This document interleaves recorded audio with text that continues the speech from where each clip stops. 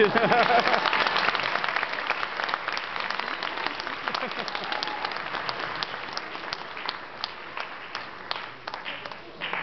going to take another quick second to gather the scarves, and we're going to excuse our lovely pre-K kindergarten that did such a wonderful job